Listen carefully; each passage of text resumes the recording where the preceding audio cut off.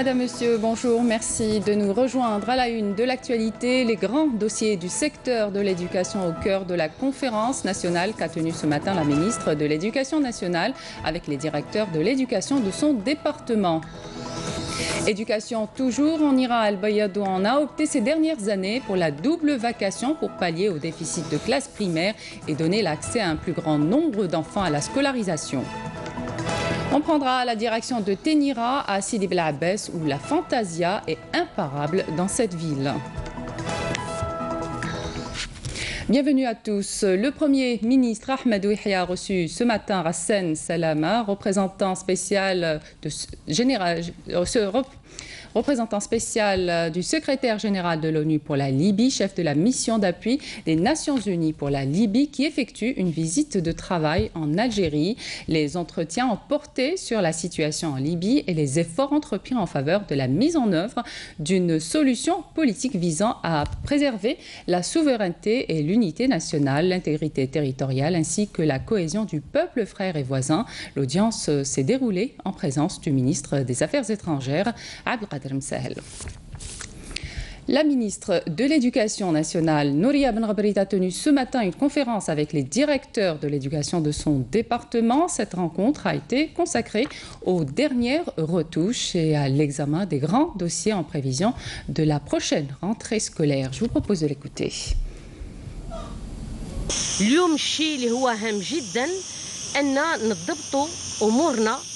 في المشاكل الكبرى اللي هي معروفة في كل دخول مدرسي. هذه السنة أردنا أن آه، ننظم هذا اللقاء من طرف ورشات عملية.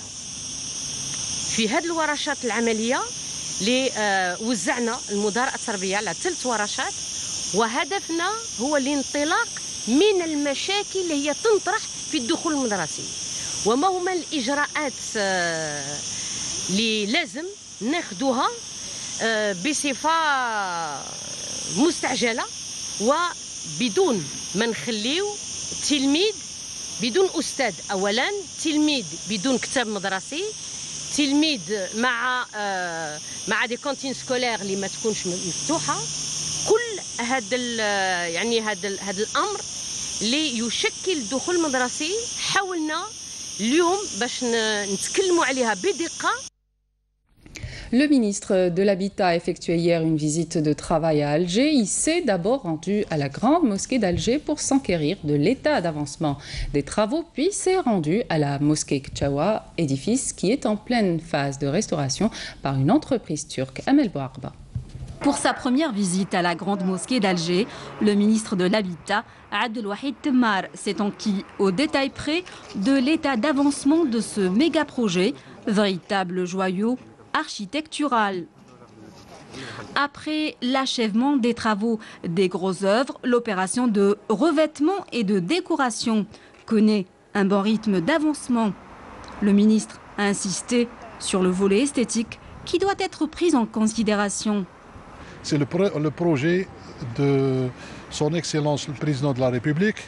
Maintenant, on est passé à la phase finale qui porte beaucoup plus sur le côté esthétique. Nous devons réussir ce projet en tant que projet, mais nous devons le réussir aussi dans son environnement euh, général. Autre halte marquée à la mosquée Ketchawa, située dans la Basse-Casbah. Ce somptueux édifice fait l'objet d'une large opération de restauration. L'or, actuellement, est aux dernières retouches. Sauver un monument historique qui est, le patrimoine non seulement d'Alger, mais de l'Algérie. Donc c'est une fierté de commencer par la réhabilitation, réhabilitation et restauration. Il y a les deux, événements dans la mosquée. C'est le début aussi d'un grand quartier historique qui est la Casbah. Cet édifice, une fois euh, restauré, réhabilité, il fera partie d'un circuit touristique. Le ministre a également fait escale au palais Hassan Pacha, mitoyen de la mosquée Kitchawa, qui est en phase de réhabilitation. Il a mis l'accent à cette occasion sur l'importance de préserver notre riche patrimoine architectural et les quartiers environnants.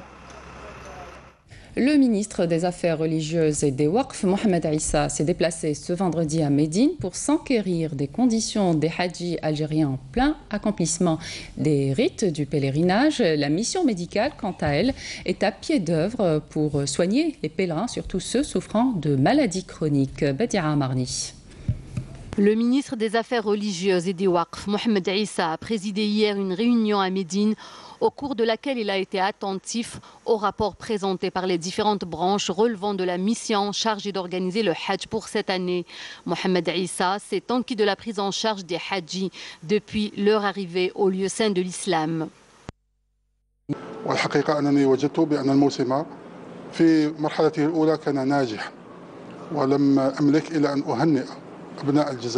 La saison du Hajj dans sa première étape est un succès. Je tiens à féliciter les Algériens et les cadres pour leur euh, grande foi, leur attachement à leur religion et leur engagement envers la nation. Être au service du Hadji est un honneur, mais surtout un devoir. Les directeurs ayant présenté leur rapport se félicitent des avancées enregistrées, mais attirent l'attention sur les améliorations qui doivent être introduites aux prochaines saisons, car nous avons pris un engagement auprès du président de la République d'améliorer les services du Hajj d'année en année jusqu'à parvenir à organiser un pèlerinage sans problème à l'horizon 2019. سنة بعد سنة إلى أن ننظم حجا بدون مشاكل في أفاق سنة 2019 في نهاية المخطط الخماسي Par ailleurs, la délégation médicale du pèlerinage suit de près l'état de santé de dizaines de hadjis par jour. Des médecins et des infirmiers habitués à ce genre de mission fournissent de grands efforts pour prodiguer les soins nécessaires aux pèlerins. Cependant, certains trouvent cela insuffisant. Il y a un grand manque au plan sanitaire. J'attends mon médicament. Mon séjour se passe bien.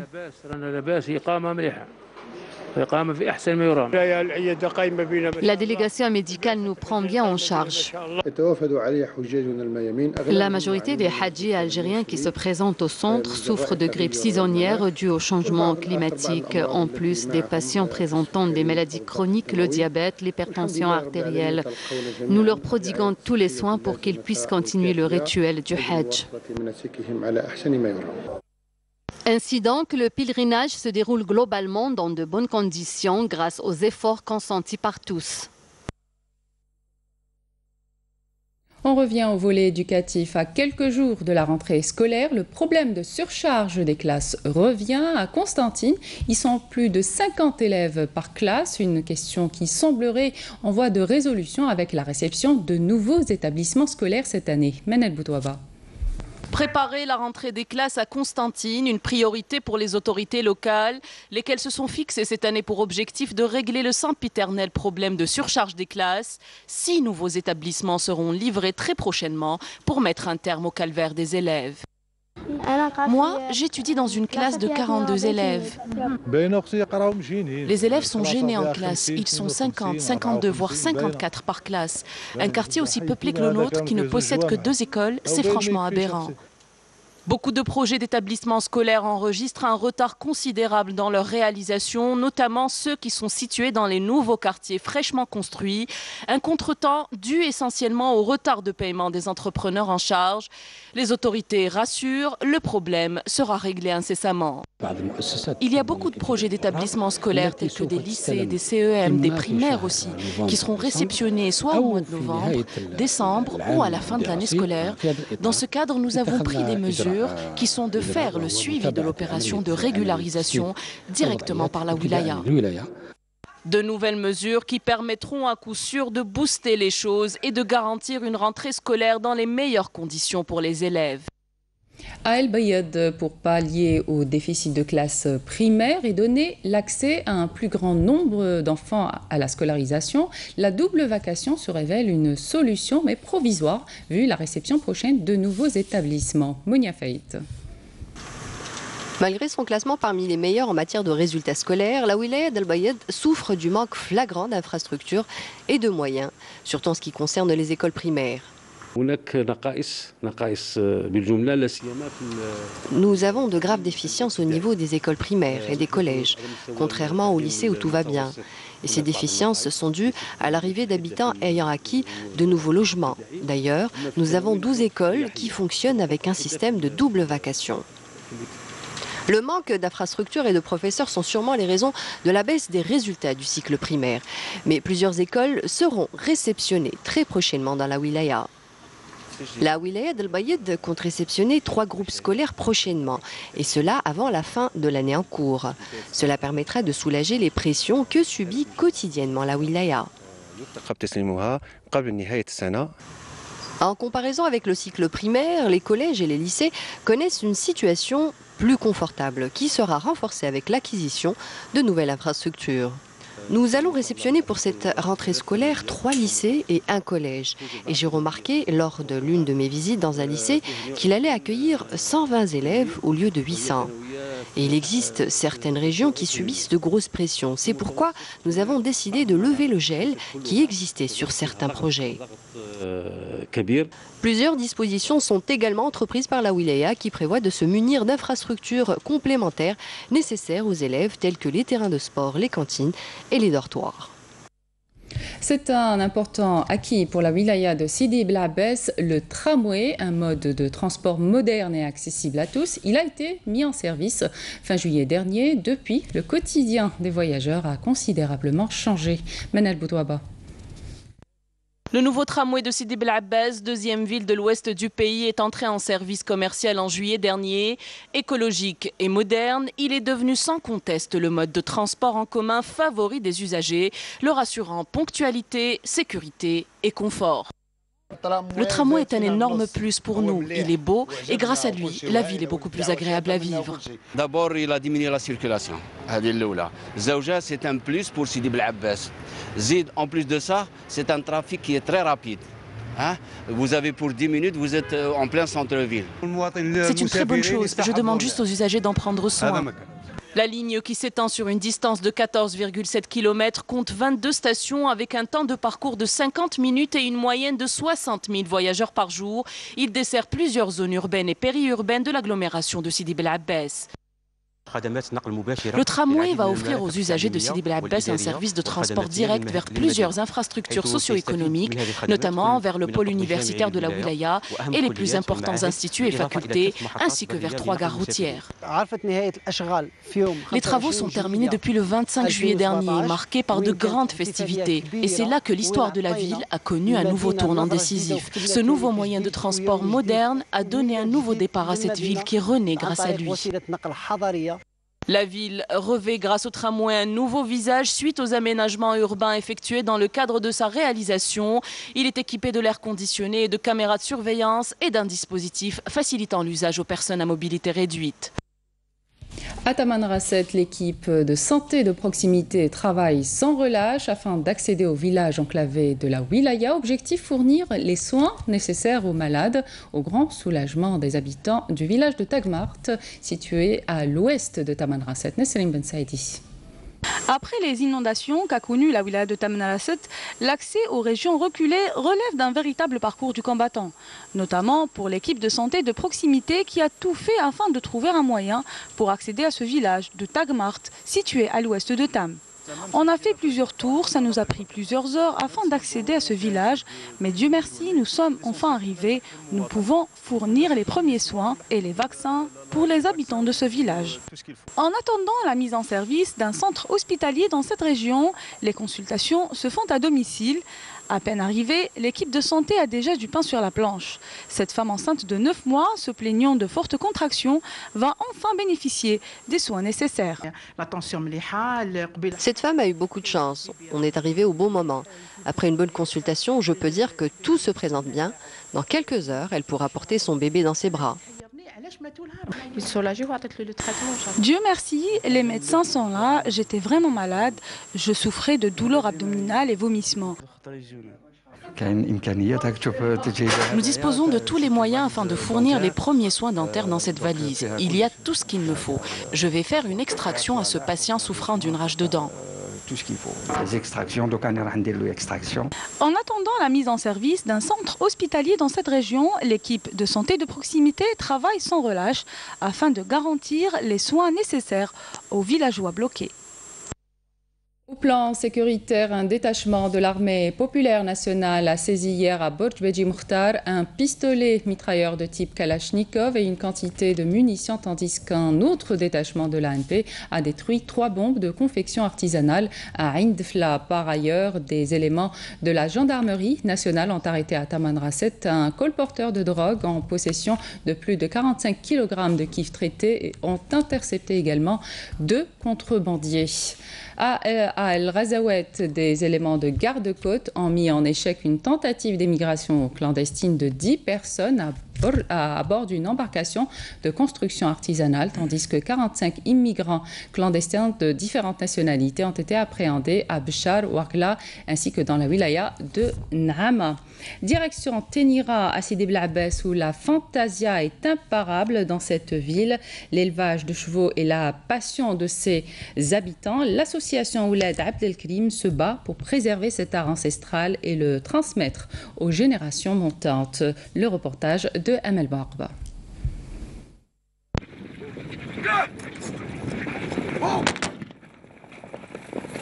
À Sidi Blabès, la fantasia est une passion perpétuée de génération en génération.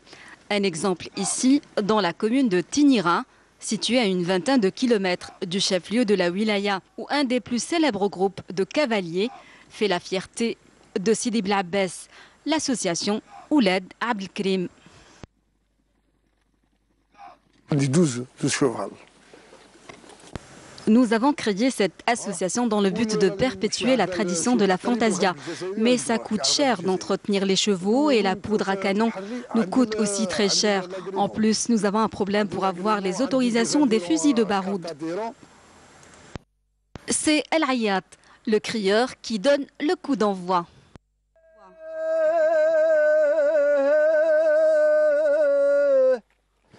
بسم الله بديت وعلى النبي صليت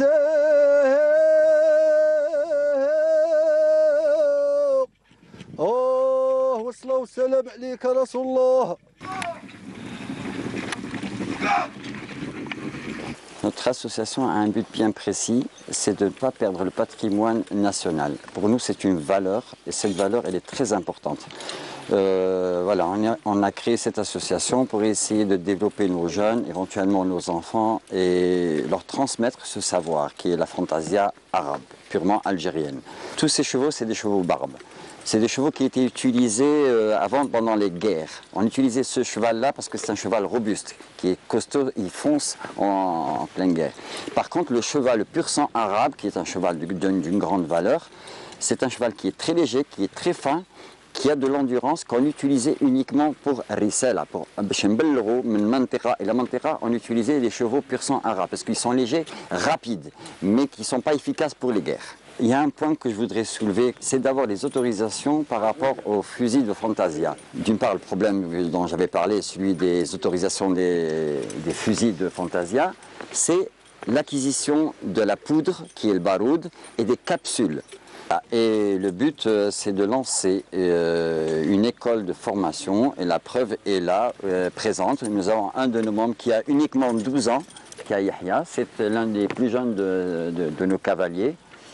Et pour ne pas perdre ce patrimoine, on souhaiterait que pas mal de familles viennent inscrire leurs enfants et transmettre cette valeur euh, qui est quand même très importante pour notre pays. Un appel du cœur pour sauver ce patrimoine de l'oubli.